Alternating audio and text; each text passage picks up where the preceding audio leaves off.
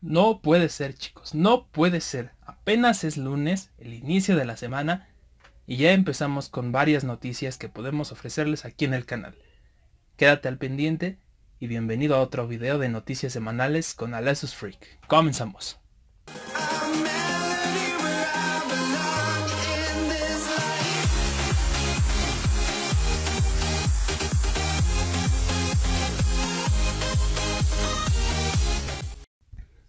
Bueno chicos, ya no nos retrasamos más, bienvenidos al canal de Alesus Freak.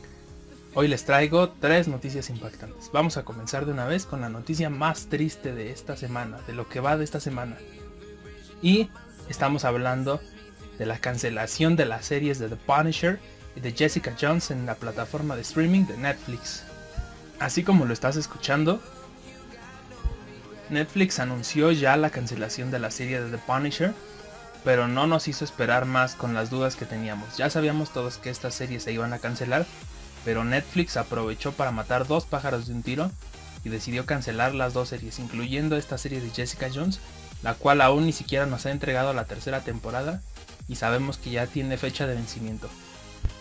Todo esto se ha debido a raíz de los planes que Disney ya tiene en marcha de poner su propia plataforma de servicio en streaming, donde meterá series donde involucre a sus personajes y a sus adquisiciones, como son Marvel, como son Lucasfilms, etcétera, etcétera. Ante tal noticia, ya los protagonistas de ambas series, tanto Kristen Ritter como John Berntal, han hecho anuncios a través de sus redes sociales despidiéndose de los papeles, agradecidos con la audiencia y con la productora que les dio esta posibilidad de interpretar a estos personajes que se han vuelto uno de los personajes más icónicos y queridos de Marvel. ¿Qué opinas tú de esta noticia? A mí en lo personal me disgusta bastante ya que estas series estaban haciendo un muy buen trabajo. Sin embargo se veía venir desde que empezaron a cerrar de una manera muy conclusiva, casi no dejando ningún cabo suelto. Por ejemplo, la serie de Iron Fist dejó algunos cabos sueltos pero prácticamente nos estaba resolviendo el fin. Y a las pocas semanas de publicada la segunda temporada de Iron Fist, nos anuncian su cancelación. Posteriormente pasa lo mismo con la serie de Daredevil, la cual cerró bastante más concluyente, no dejó ningún cabo suelto, al dejar a Kingpin ya en claro que no volvería a aparecer, haber resuelto aparentemente todos los problemas de la ciudad, y pues ya se veía que iba a venir la cancelación, y posteriormente fue cancelada.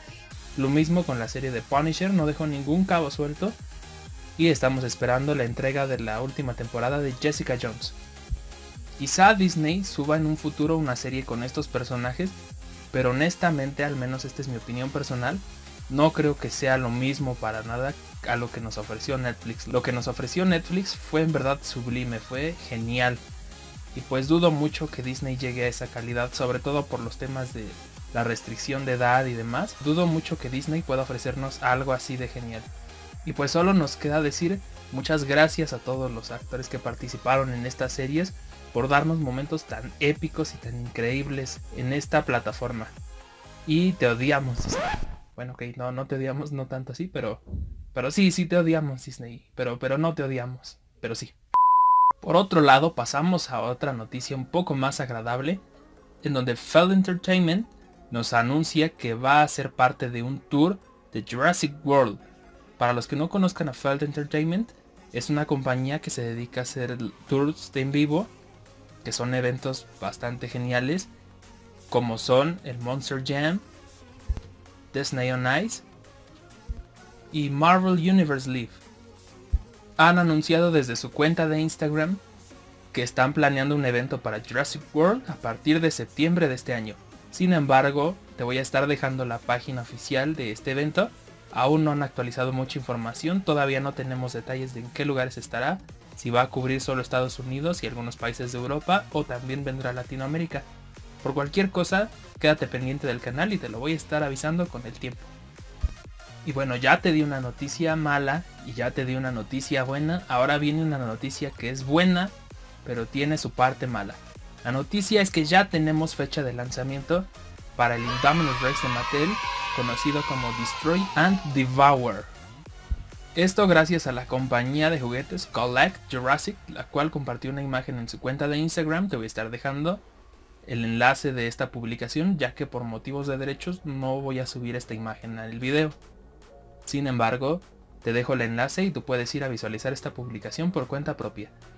En esta carta ellos nos están diciendo la fecha para la salida o el lanzamiento de esta figura, que es en otoño, aún no se especifica bien el día, mes y año, sin embargo ya se especificó que será en otoño de este año.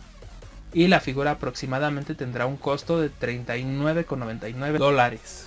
Asimismo, la figura de Jurassic World Primal Pal Blue estará disponible igual en otoño del 2019 y tendrá un costo aproximado de 24,99 dólares.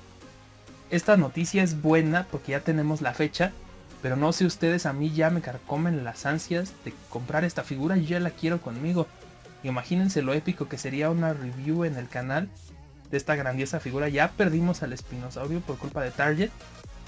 No queremos que se nos retrasen las demás figuras y que tengamos ese, esa espera, pero bueno, no queda de otra chicos. Entonces de esperar con ansias a que llegue esa fecha. Y cuando oficialicen bien y tengamos el día que salga, se los estaré compartiendo. Por lo pronto, estas son todas las noticias chicos. Quédense al pendiente de mis redes sociales. Porque así como compartí estas noticias en todas mis cuentas de redes sociales, Facebook, Twitter, Instagram, también compartí otras noticias que no consideré tan relevantes. Sin embargo, estoy compartiendo las noticias ahí para que estén al día. Un abrazo chicos y que estén súper bien. Hasta la próxima.